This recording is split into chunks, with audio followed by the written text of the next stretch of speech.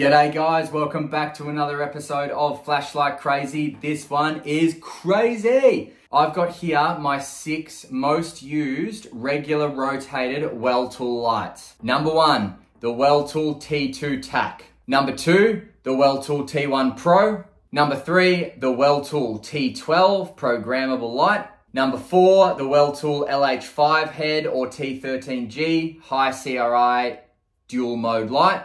Number five, the Weltool LH1 head. And number six, the Weltool T17. Let's check them out. All right, so here they are, the six main Weltool lights that I currently use. Now, if it was up to me, well, it is up to me, but if uh, if I had it my way, well, I guess I do have it my way. Uh, I would have liked to include every single Weltool light that is currently offered by Weltool in this video. But I had to make some cuts, and that was important because I really needed to choose. I intended only on choosing the five most used Weltool lights of mine, but I could not cut any of these out. So all of these lights belong here for a very specific reason, and I will go over those uh, specific reasons. But, you know, I wanted the T14B and T14C in this, but I had to cut them, and I had to cut them because of this guy, the uh, T2 TAC, which I'll, which I'll get into. I also wanted the T11 in here as well, but I had to cut that due to this guy, which I'll get in here as well. And I actually wanted the LH3 head, the LEP in here as well.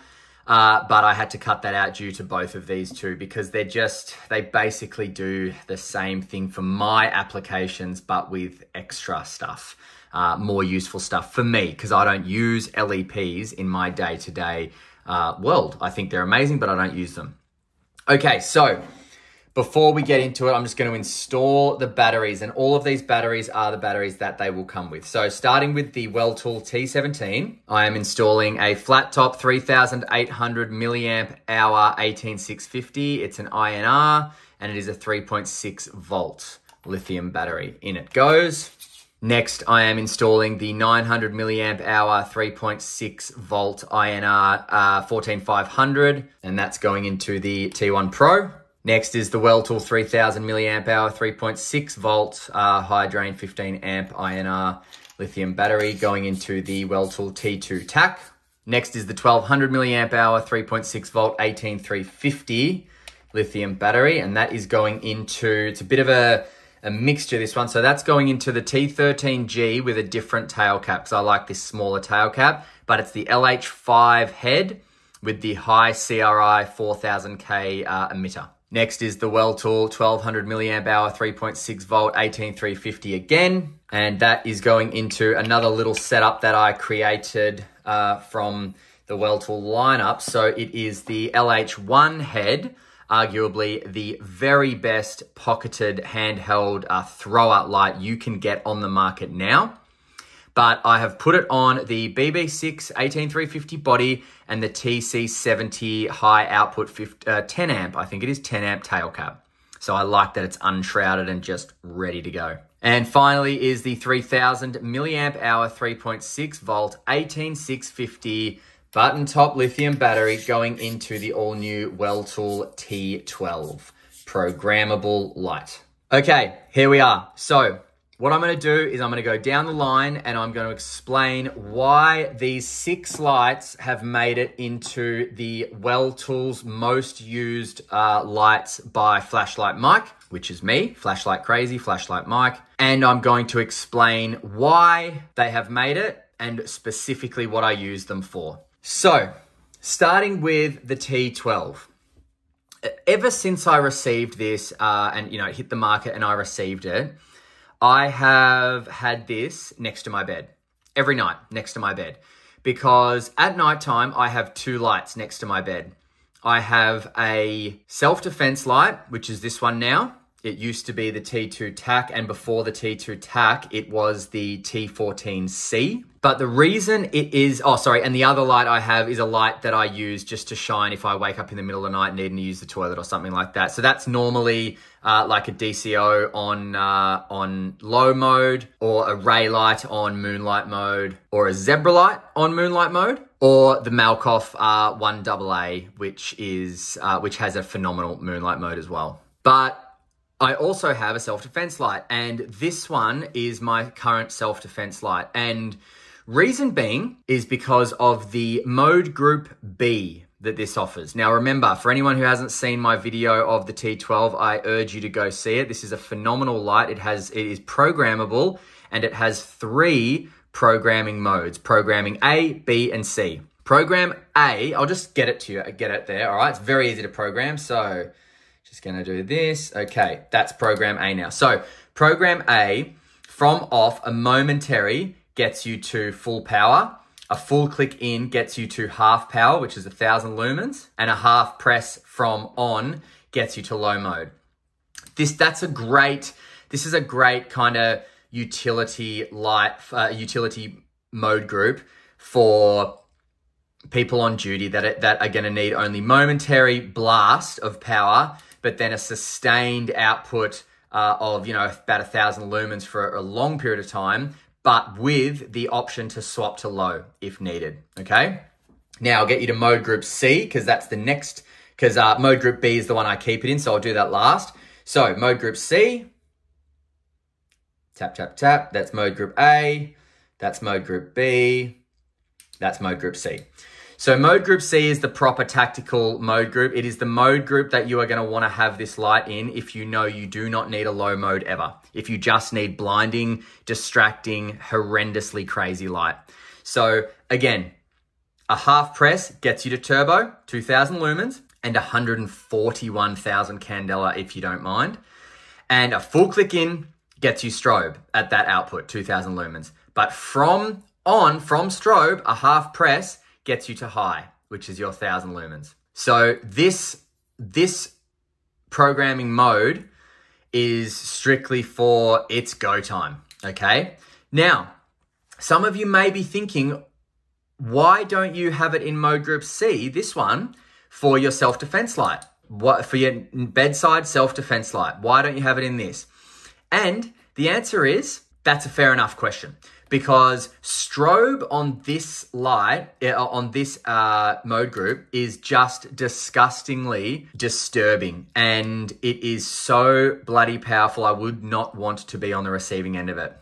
However, I'm going to put it back into, I'm going to now put it into mode group B and I'm going to explain why I keep it into that mode group for my next to the bed self-defense light. Here we go. Tap, tap, tap, tap, tap.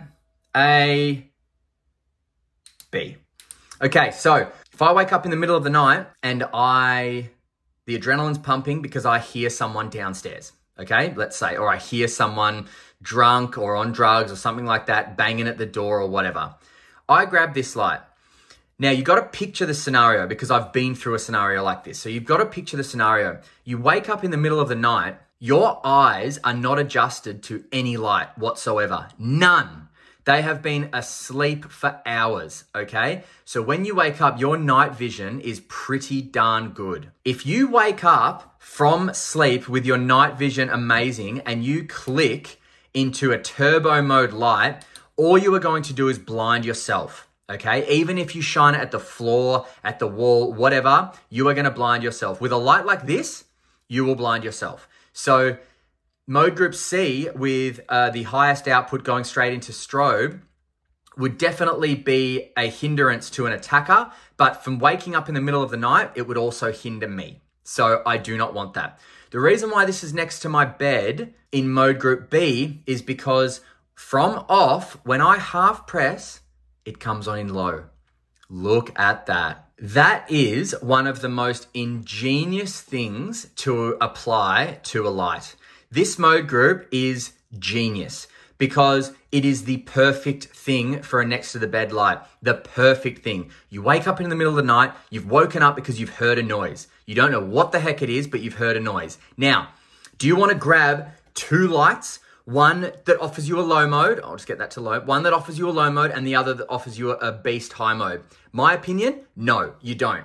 Why don't you want to do that? Because you want a free hand. If someone comes around the corner and attacks you, you want a free hand to do something with that hand. I don't know if you want to pick up something else or if you want to be able to manhandle the person or whatever. You don't want to have two lights in your hand, in my opinion, and in my experience, to be honest. So this mode group is simply genius because now I can wake up in the middle of the night and it actually happened last night. We live on a main road. There was a few drunks around the area. Now no one actually came to our door, but my partner and I both heard a really big bang at the front. The dog started barking.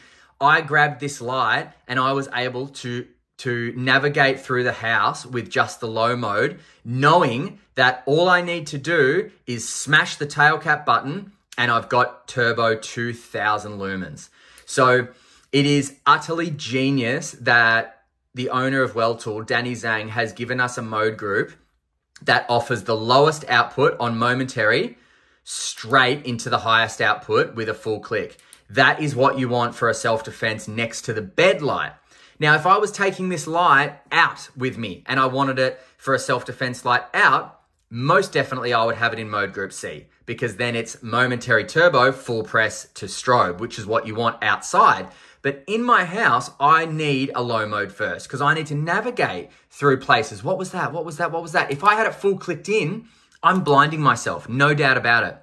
So you do not want that. You want the low mode, and then all you need to do, the adrenaline's pumping. You cannot get it wrong. You cannot stuff this up. All you have to do is squeeze the tail cap and let go. And you've got 2000 lumens, 140,000 candela of blinding light coming out of this light, out of this torch, flashlight, whatever. This is my next to the bed self-defense light, without a doubt, in mode group B. If I take this light out with me, it's going to be my self-defense light in mode group C. Without a doubt. Those two mode groups are my jam for this light. So that is what I use the Weltool T12 programmable light for the next to the bed self-defense light. Next is this little uh, concoction here, which is the LH1 head on the BB6 body and on a TC70 full output tail cap. My friends, what you are looking at right now is, in my opinion and my estimation and my experience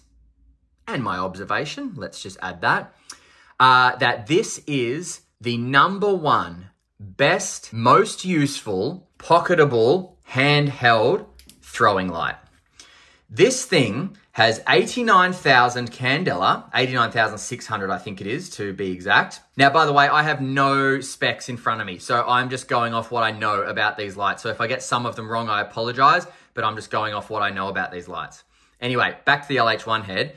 Uh, so 89,600 candela, I think it is, 686 lumens, and single output. This is all you get, okay? Now, why is this such an amazing light for a pocketable thrower? Well, first off, because on the 18350 body like this, it's fairly compact. I mean, look at it next to the T1 Pro. Not that much taller, but obviously the head is enormous because you need the candela. Look at that smooth reflector. Just stop it.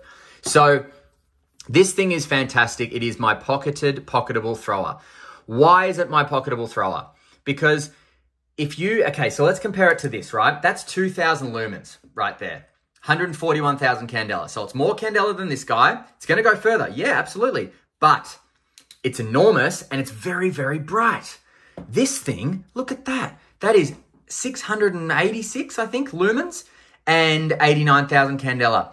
This thing cuts through the knife, cuts through the knife. This thing cuts through the night like a knife and it goes as far as you basically want it to go looking at it by looking with your eyes without binoculars or anything.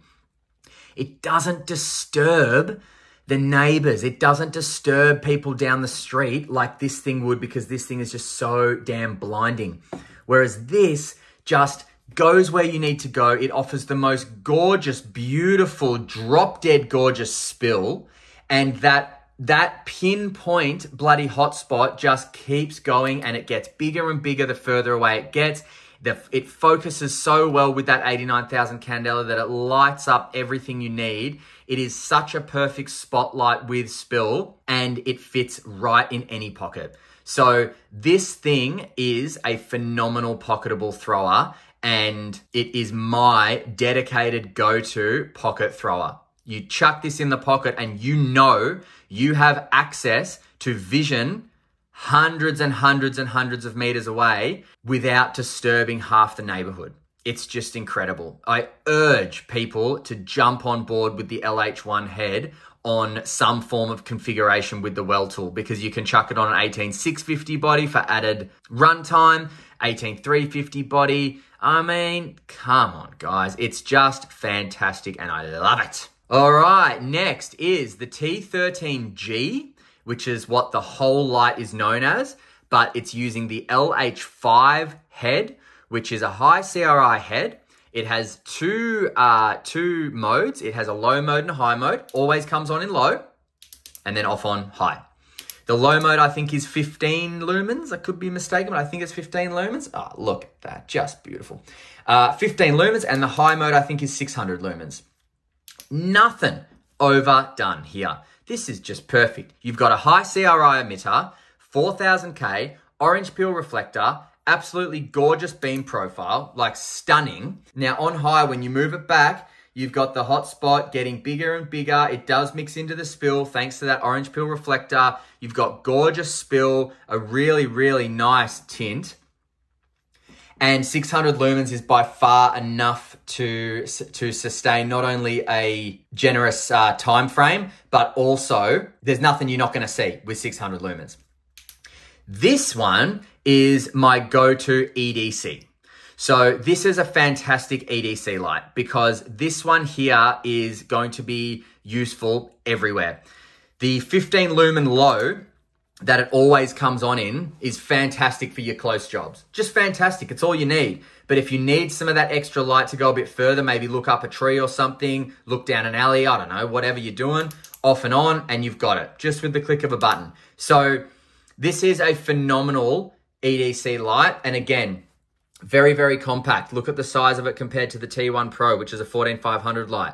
This thing's fantastic. This makes it into my regular rotation of EDC lights. Compact, 18350, orange peel reflector, high CRI 2 mode, EDC light, 4000K. What more could you want? What more could you want? So that is the LH5 head otherwise known as the T13G, and you'll just get it with a different tail cap. It'll be a larger shrouded tail cap. All right, the T2 TAC. This is the dedicated outdoor self-defense light. So the, the Weltool T2, the one before this, was a three mode light, low, medium, high with memory. The T2 TAC came out because it is your tactical self-defense light. You have a crenulated strike bezel, beautiful an 18650 body, very, very, very uh, slimline. So just no, not much bigger than the 18650 battery itself. Fits in the hand beautifully, protrudes enough to actually use that strike bezel if needed. And with a full click in, you've got, I think it's four, no, 1800, I think, 1800 lumens. So 1800 lumens with about 45,000 candela, I believe. So now why is that such a perfect uh, self-defense light? You've got an SFT40 with a smooth reflector down there. So the reason why it's such a perfect self-defense light is because that hotspot is going to be quite large. Why is it going to be large? Because Danny Zhang has found the sweet spot between lumens and candela. Prior to this one, it was for me the Weltool T14C, which had now, I hope I'm not mistaken, which had mm, 1400 lumens, I think, uh, or 1250 lumens, and no, I think 1400 lumens. Damn it. Maybe 1700 lumens and about 70,000 candela. So, uh, anyway, I can't remember the exact lumens that it had, but it was a nice mix between lumens and candela. This one is nicer. The lumens have been bumped up just a little bit and the candela brought down by about 20,000 or so. That means that the hotspot is enormous. Why is that important? Because that's going to engulf somebody's face much easier. I used this, uh, I had my partner shine me in the face with this in my self-defense video that's on my channel. And this one was utterly blinding. The lumen output mixed in with the 40, 45 ish thousand candela was absolutely perfect for blinding. It consumed my face from over a meter away, got me real good. And uh, this one is my dedicated self defense light. Now, the reason why this light's also really, really amazing is because it every time you click it, it's going to come on in this, right? High, high lumens, high, high candela. Uh, but one, two, three, four. Oop, one, two, three, four. Click. You've got low mode. So this is a hidden low mode. The reason why it's hidden is because you have to intend on putting it into low mode. You can't accidentally go into low mode. Why don't you want to accidentally go into low mode? Because it's a self-defense light. You do not want to accidentally go into low mode with a self-defense light. You want to be damn sure you're going into low mode with a self-defense light. I can signal with this. I can friggin' turn it back, or uh, turn it straight on, turn it off, turn it on, turn it off. Doesn't matter. Signal, SOS, whatever. It's not going to go into low mode when I'm doing that. I have to, from off, one, two, well, one, two, three, four, click. That is how you get into low mode. So it has the option to get into low mode if you know you need need to use low mode for something. I mean, we all need a low mode, guys. But you have the main access is your self-defense output, which is, you know, 14 to 17,000 candela, ah, 14 to 17,000, no, which is 14 to 1700 uh, lumens and 45, 40 to 45,000 candela. Just perfect. Fantastic. Through hole cooling as well, same as the T12, uh, which adds, which reduces the amount of heat that it's going to accrue in the head.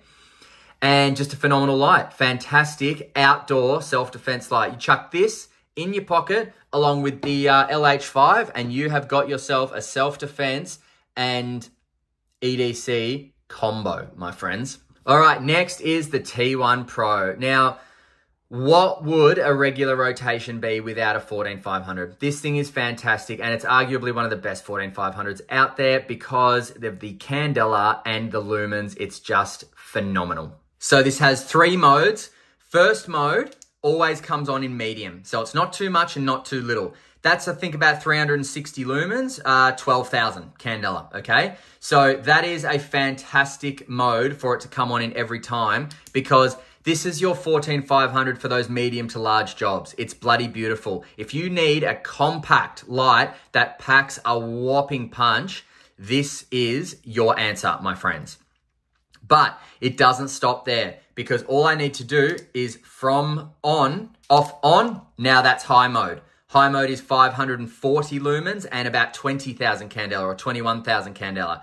This thing bloody goes. This goes up to about 300 meters or something. It's fantastic. This is basically your dedicated compact 14500 tactical slash throwing light. It's just phenomenal and it belongs in this lineup. But it's got that hidden mode again. So one, two, three, four, click it on. Look at that. A beautiful low mode, about 80, 85 lumens, something like that. Just over 2000 candela. Still reaches a long, long way but you can have uh, extended runtime with this because this will go for about eight hours like that.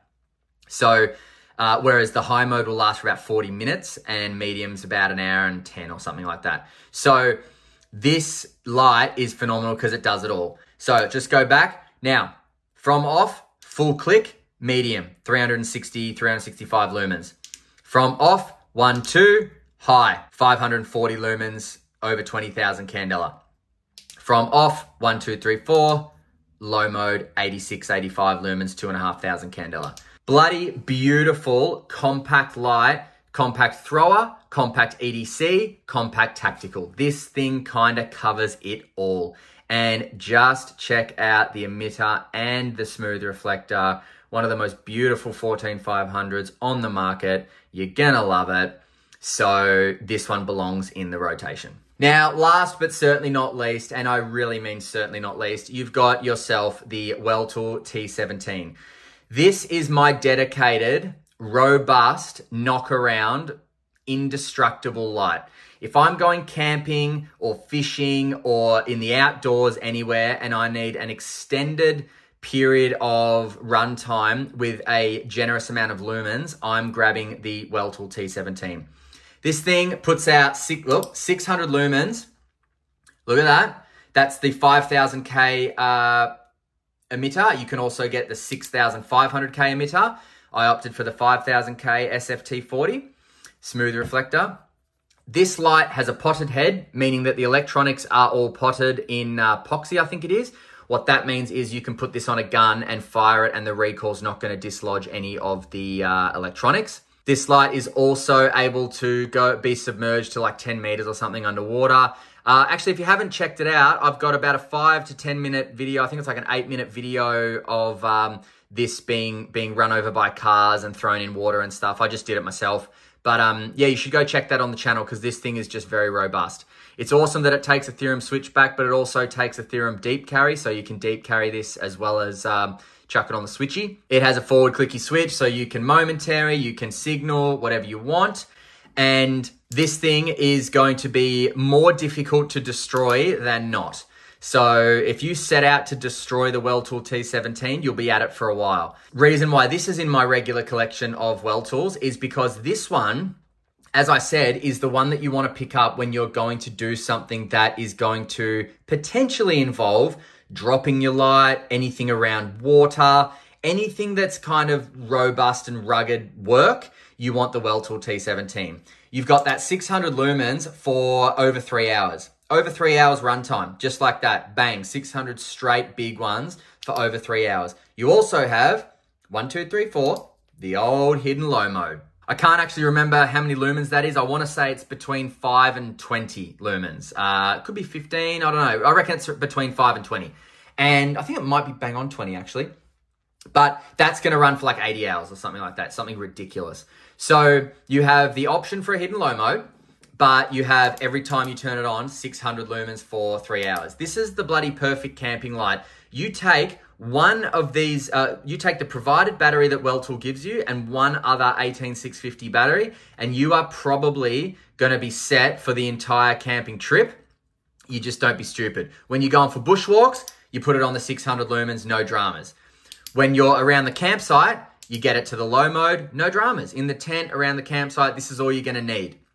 So you drop this in the water, you just go pick it up. You drop it off a cliff, if you can get down there, you climb down and pick it up. You run this over with the four wheel drive, you dust it off and you put it back in your pocket. This thing is a friggin' beast and it belongs in the Weltool regular rotation lineup. Now, let's cut to night shots and then we will come back for some final thoughts and where to buy. But just before I do, with the exception of the T17 and the T12, you can buy all these lights from liteshop.com.au right now. I'm going to link all of these separately. These two have not landed at liteshop.com.au yet, so I will link these directly at Weltool. The T12 and the T17 will be linked directly at Weltool, but the LH1 head and the body separately or together. The LH5 head separately or together on the body. The T2 TAC and the T1 Pro are all available at Liteshop right now. I will link them all. Let's go to night shots. Catch you later. All right, kicking things off with the T12. So this is the program mode that I have it in. And this is instant low momentary. Very useful. And then a full click does that. Are you kidding me? Look at that, top of the tower, scorching hot hotspot. Amazing. So, bedside self-defense light. Why? Because instant low, instant turbo with one click of the button. Of the button, man. Bloody incredible. This thing is legitimately off its head. It's just amazing. All right, what do we got next? T1 Pro. And believe it or not, that is on the medium output because that is on the highest output. Can you believe it?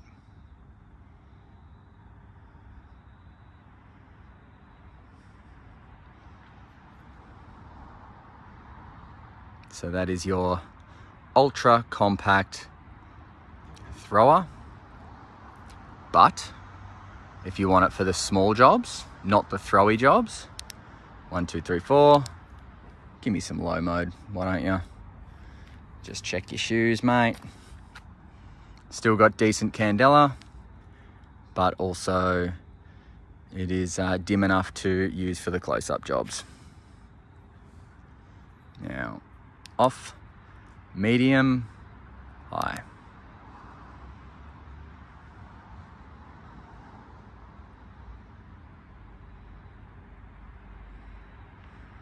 Awesome.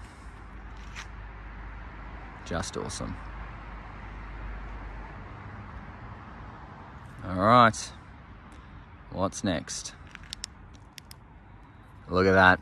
The ultimate pocket thrower. The LH1 head. You are kidding me. See how it just doesn't disturb too many things. Not like the T12 that just has a crazy amount of light. Look at that. You could stare at anything up there in the top of that tower and you're not going to disturb your neighbors. Just fantastic. 89,000, I think 600 candela, 89,600 or around there. Definitely over 89,000. Just phenomenal. And let me just walk a little bit forward, bring you over here. Look at that.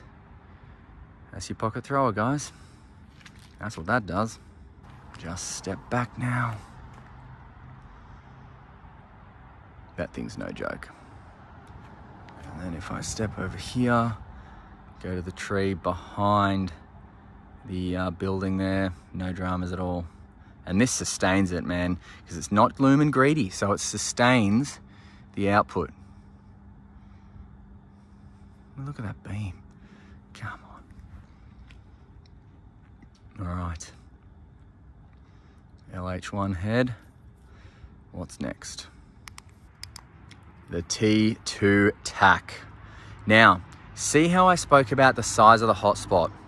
It's enormous. That's why this thing's gonna blind bloody three people at once.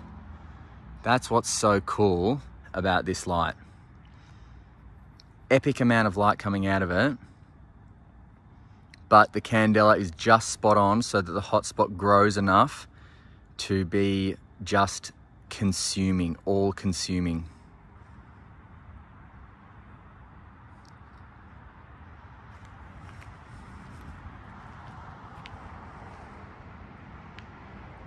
Amazing. Through hole cooling, so it's not going to get too hot too quick. But look at that. That is so super bright. All right. That's the T2 TAC. What do we got next?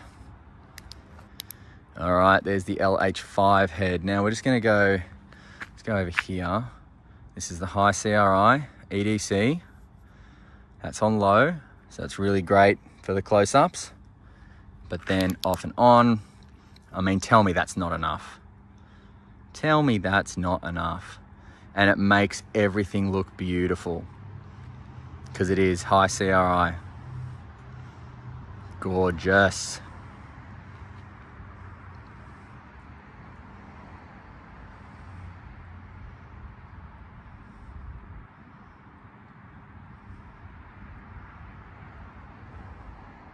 Very beautiful mixed beam as well. This makes for a fantastic EDC light. It really does. Nice and compact, 18350, high CRI, two outputs low, high. All right. Last but not least, the T17, the indestructible 600 lumen beast, three hour, three hour plus runtime. This is the 5000K so a bit better color temperature in my opinion for just, you know, easy on the eyes and stuff. But this is a great multi-purpose light. Just great.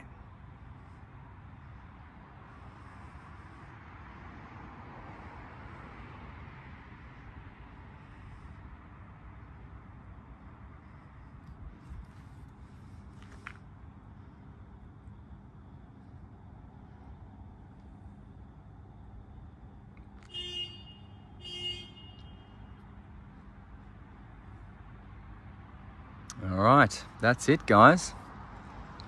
Which one would you pick? Because I have them all for different applications in my world. See ya. All right, so as you saw there, I'm not lying. These things produce exactly what you want them for. You know, the T2 TAC being your dedicated self-defense outdoor light is just simply perfect for it. I will link this at liteshop.com.au and for anyone abroad, I'll link it at Weltool. The T12 programmable light is your phenomenal bedside light, but also basically used for anything. So the, the fact that it's programmable, you can just quickly program it into whatever mode you want. But for me, it's the bedside self-defense light. I will link this at Weltool Direct, and when it comes available at Liteshop, I'll link it at Liteshop. The T1 Pro, it's your pocket's best friend. You know, the compact light, I think this comes in at like 80 bucks or something. Uh, I will link it at Liteshop. I'll also link it at Weltool for those who do not live in Australia, but this is your dedicated pocket rocket. The LH5 head, this is your EDC, man. High CRI, 4000K, low high. What more do you want? Perfect EDC, love it. The LH1 head, as I said, you saw, look at how this thing performs at nighttime. Absolutely incredible. This thing has the best hotspot. It's just perfect.